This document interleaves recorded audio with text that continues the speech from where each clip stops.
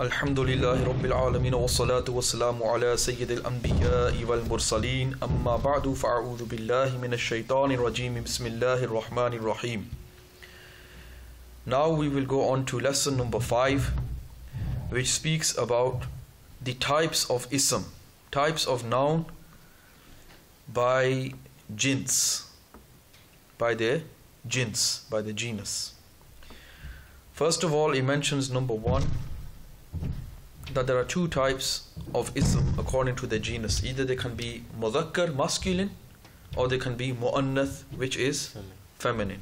Okay. Number one, ism mudhakkar, masculine noun, is that ism which does not have a sign of femininity. Okay? Which does not have a sign of it being feminine. A sign of it being feminine, feminine is a sign is alamat. Femininity is tanis. It does not have alamate tanis. It does not have a sign of being feminine. It doesn't have a sign of being feminine. For example, the word farasun. Farasun means horse. Farasun. It is a masculine word because it has no sign of being feminine. So it is mudhakkar. What is it? Muzakkar. Mudhakkar, fem- masculine. Masculine. Sorry, it is masculine because it has no sign of being feminine. And what is uh, feminine? Muannath. Muannas. Right? So it's not muannath because it has no sign of being muannath. Number two, ism muannath. That noun which is feminine. That is the one which has a sign of femininity in it. Alright? That one which has a sign, that noun which has a sign of it being Feminine. feminine. If it has a sign of it being feminine, then it shall be ism mu'annath. You understand? Yeah. Yes, a muannas. Yeah. So, an example of this one is naqatun. Naqatun means a female camel. Because this has got a sign of femininity, it is isme mu'annath. Okay? And the sign of it being feminine can either be a lafzan, right?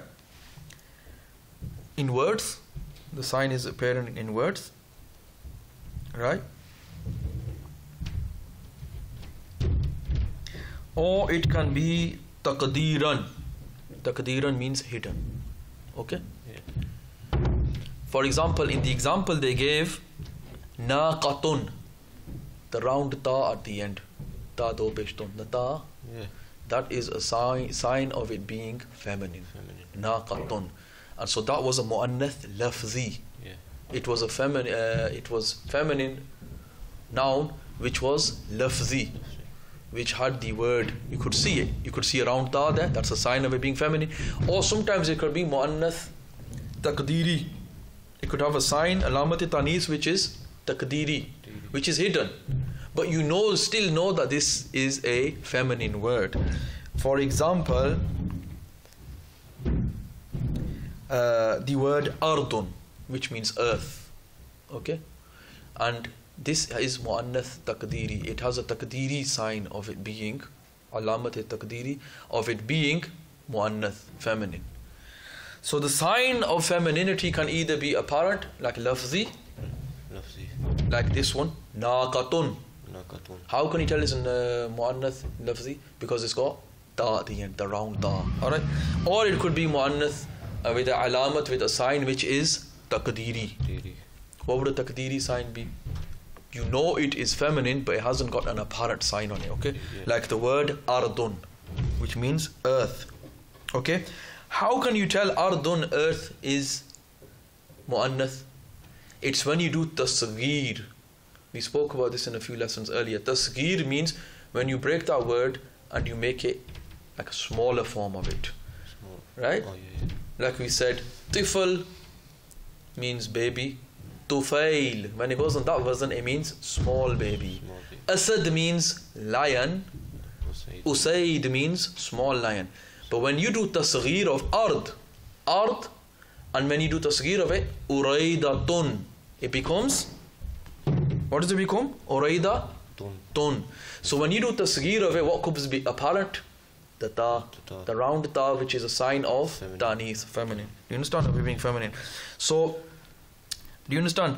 And the qaida, the rule is that when you do tasgheer of an ism, when you scale it down, Yeah. right, smaller, when you get the smaller scale of any noun, then that is its or- original form.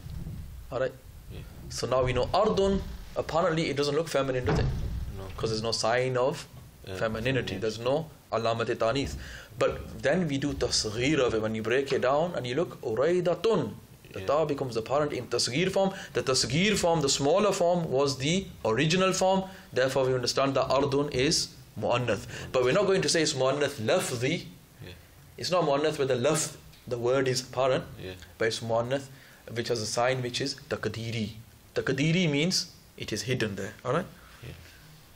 So next, now we've done ism mudhakkar. Masculine noun is the one which has no sign, no alamat tanith.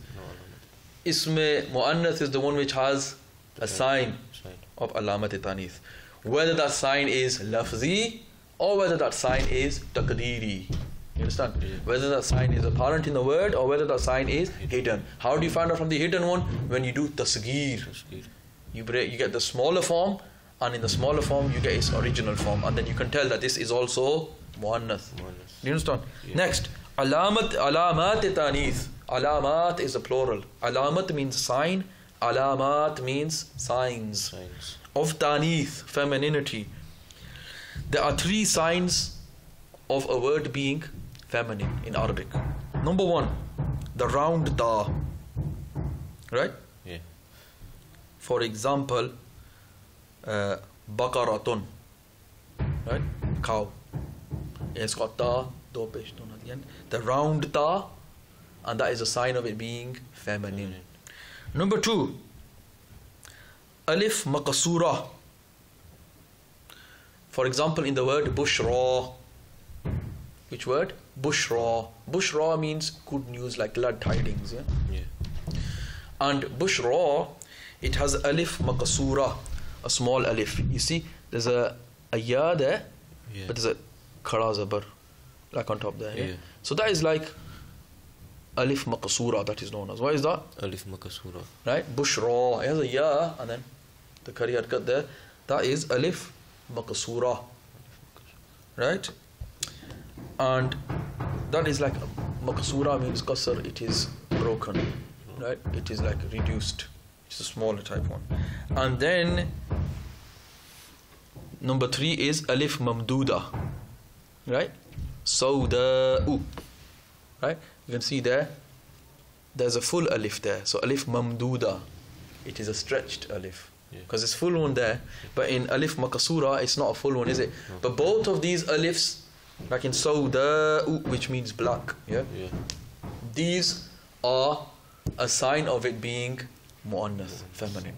So what were the three signs? Around ta, Yeah. an alif makasura, and thirdly an alif mamduda. So when you look at these examples and copy them down, then you can remember them, right? Next, he mentions a benefit here, a faida. The types of muannath, muannath has been divided, categorized in two ways. Right? Number one,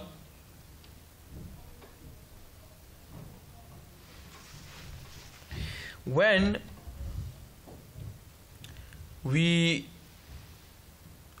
understand whether a muannath is a living thing or it is a non-living thing okay मुअन्नथ के मुकाबले में नर जानदार हो होने या ना होने के एतबार से when that mu'annath has got an opposite right Which is living thing or which is a non-living thing okay and number two is whether the mu'annith at the end of it has a sign of ta'nith or whether it doesn't have a sign of ta'nith Right? So these are the two types of taqseem, division. Let's concentrate on the first division. The first division, yeah? There are two types on this. It can be muannath haqiqi and muannas lafzi. This was the category to do with whether muannath has a living thing and which is the opposite. Yeah. Alright? Let's have a look at this now. Muannath hakiki and muannath lafzi. Muannath hakiki. What is the definition of muannath hakiki? Muannath, that muannath which has a living thing which is opposite to it. Alright? Which has a living thing which is Opposite. opposite to it. That muannath which has opposed to it a living thing. Right? Regardless of whether this muannath has a sign of tanis or doesn't have a sign of tanis. Okay? So what is muannath hakiki? That muannath which has an opposite which is a living thing. It has an opposite which is a living thing, and then regardless of whether this muannath has a sign of tanis or doesn't have a sign of tanis. But the only thing we know for this muannath is it's got an opposite Yeah. which is a living thing. It has got an opposite which is a living thing. Now look at the example. Imra'atun. Imra'atun. Imra'atun. Right? Which refers to woman. Right? And this has got an opposite which is imra'un without the da. What does that mean? Man. Right? So this is muannath haqiqi. Right? This is muannath haqiqi. Hakiki. Why? Because it is a feminine word, right? It has an opposite which is also a living being, right? And that's why it is known as muannath hakiki. It's that feminine word which has an opposite which is also a living being. What was the feminine word? Imra'atun, woman. And this opposite was imra'un, which means man. And because that is a living being which is the opposite of this one, therefore this one is known as muannath haqiqi, a real feminine word. Okay? This is a real feminine noun. And we also mention, regardless of whether this one has got a ta at the end or hasn't got a sign. You know, a ta is like a sign. Eh? Regardless of whether this muannath has got a sign of tanis, Yeah. alamat tanis or whether it hasn't got alamat tanis. Now I'll give you an example where it hasn't got alamat tanis. Another example he gives here is atanun. Atanun means a female donkey. Atanun. It has an opposite, which is what? Gonna be a male donkey, a male living being. Himarun. Himarun means a donkey, which is a male donkey. But the female donkey is known as atanun. So what is atanun? Female donkey. Yeah, but what is it in definition? It is muannath haqiqi. It is muannath Mu'annas hakiki. haqiqi. Muannath haqiqi. Yeah? Now this is muannath haqiqi, a real feminine noun. Why? Because it has got an opposite being, which is Living. living. An opposite, which is a living being, Living being. which was himarun, the male donkey. And this one itself, it, regardless of whether it has a sign of tanis or not. Or not. Does it have a sign of tanis in this example? It doesn't, does it? No. It's just atanun. Yeah. It looks like a normal word, like a normal word, masculine word without any sign. But it is known as mu'annath hakiki. Why? Because it has an opposite Living. being which is uh, opposite to it, okay? Opposite to it. Obviously, which is masculine, yeah? Yeah. You understand? So these examples you can understand. And then you understood the second part of the rule, which was so this mu'annath hakiki, does it have to have a sign of tanis? No. It just has to have an opposite living being. That's all. Yeah. An opposite living being. Number two, muannath lafzi. The definition of that feminine noun which is lafzi, which is apparent in words, okay? Yeah. And this one which is apparent in words would be wa muannath, that muannath which does not have an opposite living being. Okay? Yeah. This does not have An an opposite living being. This will be known as muannath lafzi. Right? And regardless of whether this has a sign of femininity in it or not. Okay? So muannath lafzi is that muannath, that feminine noun, which does not have an opposite living being. Okay? The muannath hakiki had an opposite living being. Muannath lafzi does not have an opposite Living being. living being. Right?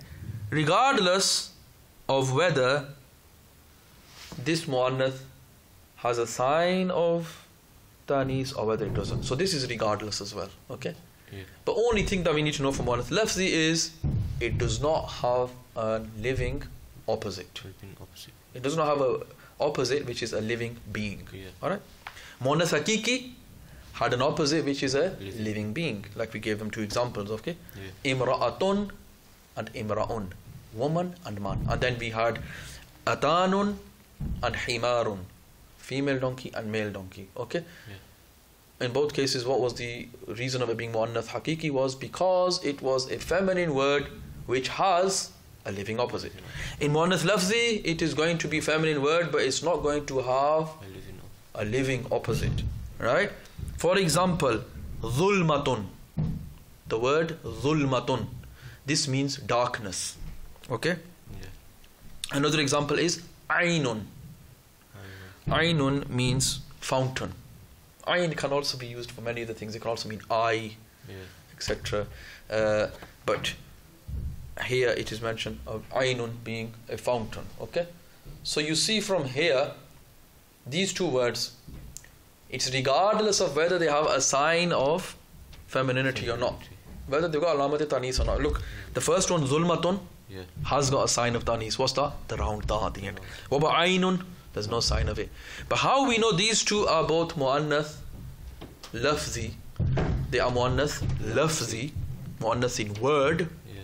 is because they haven't got a living Being. being which is opposite to them. Is there an opposite of zulmatun, darkness, in a living being? No. No. Right? And has ainun, a fountain of water, has it gone opposite which is a living being? No. No. So these are muannath lafzi, muannath in word. Then we need to understand next, there is another division further here. Then it says there are two types of further division here. Right? Muannath qiyasi and muannath simai. Right? Muannath qiyasi, the first one. What is muannath qiyasi? That muannath which has alamat tanis apparent in it. Yeah. That is called muannath qiyasi. Alright? Muannath Muannas Qiyasi. Qiyasi. This one has the sign of femininity apparent. Okay? Yeah. Do you understand? Yeah. For example, Aishatu, the name Aishatu, yeah? it has a round ta at the end. Yeah. The sign of tanis is apparent in this. So this is known as muannath qiyasi. Next is number two was muannath simai. The definition of muannath simai, what is that? That muannath which does not have alamat tanis apparent in it. The sign of being feminine is not apparent in it. Then it's known as muannath simai. Right? It does not have alamat tanis apparent in it. However, the Arabs use this word as a feminine word. Alright? Yeah. Whenever they refer to it, they refer to this word as her or as she. Yeah. Alright? In the Arabic use of language, it's referred to as a feminine word. word. So then it's known as muannath simai. It's to do with it's been heard that way. Yeah. The qiyasi one was the one which had a sign in it, Yeah. right? A sign of femininity. But this one, muannath sima'i, it has no sign in it. Yeah. But it's been heard Like this from the Arabs. Yeah. For example, ardun, there's no sign in it. No. There's no round ta, there's no alif maqsura, there's no alif mamduda, is there? No. There's no small alif and large alif, is there? No. But it is still known as feminine. Why? It's been heard like that from the Arabs. Also, shamsun, you know, the sun. Yeah. Again, another feminine word. Do you understand now? Yeah. Then he mentions a benefit here. It states that the Arabs use certain words which are feminine, which we shall list here. Right? Yeah. And these are muannath sima'i. These are those feminine words which have been heard to be feminine. They're not muannath qiyasi. Because the sign, alamat of tanis, is not apparent in them. Okay. So now what he mentions here, he mentions words here which the Arabs use, some words here which are muannath sima'i, which are feminine, okay? Uh, examples of these words he will use here. Harbun, which means war or battle. This is muannath qiyasi. Number two, ka'sun, which is like a small plate, like a container for used for food. Yeah, ka'sun. It is also muannath simari. Right. Then it mentions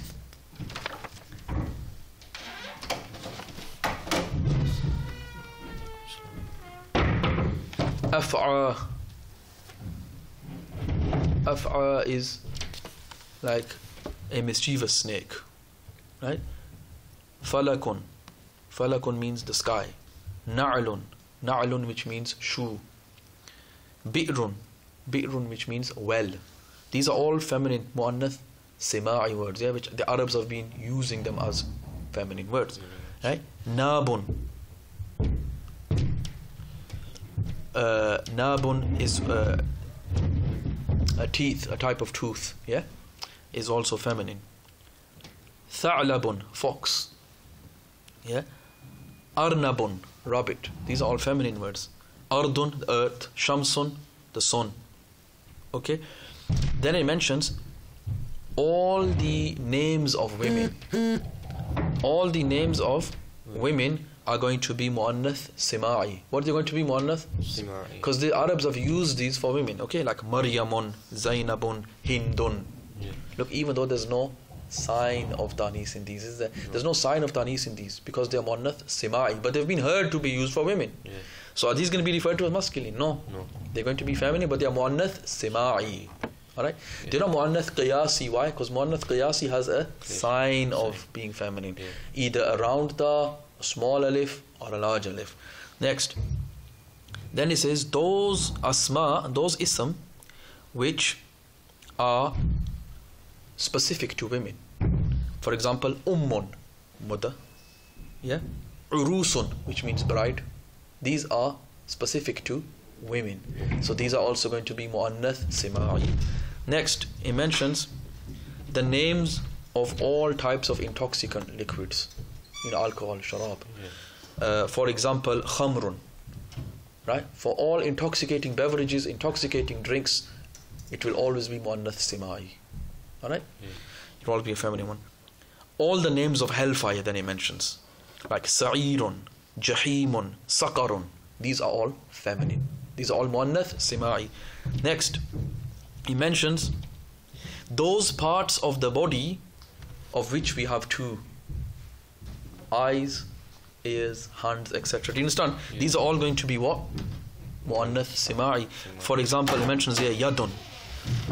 Yadun, the hand, yeah? Rijulun, uh, leg, right? And udhunun. What's udhunun? Ear, Yeah. right? Ainun, the eye. These are all in pairs. The human body parts which come in pairs, they are always going to be muannath simai. They're always going to be feminine, right? Uh, and then it states that some asma, some asma, some asma, some is uh, nouns are unisex. Like they are used both muannath and muzakkar. All right, they're both. Uh, they can also be masculine. They can also be feminine. Right, sum asma. And then it gives examples of these. It mentions uh, sikkinun, sikkinun, which means knife. Right, and then he mentions sullamun, which is a ladder. Sukun, which is a marketplace. Yeah, sabilun, which means a path. Tariqun, which also means a way or a path. Yeah.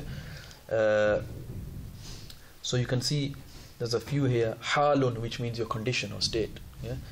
Uh, hanutun, which means a shop. Lisanun, which means tongue. Yeah. Nafsun, which is your life, your soul. Nafs. Yeah. Sama'un, which is the sky.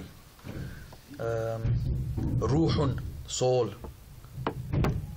And then it also mentions baladun, which means a city or a town or a country, baladun. Yeah, these are both muannath and mudhakkar. Okay, feminine and masculine. These words can be used in both. Do you understand? Yeah. So basically, just to summarize the whole lesson, yeah, what it was, yeah, we stated first of all, ism can be mudhakkar, or it can be ism can be muannath. It can be masculine or it can be feminine. Basically, it's masculine if it has no sign of tanis, no sign of femininity. Yeah.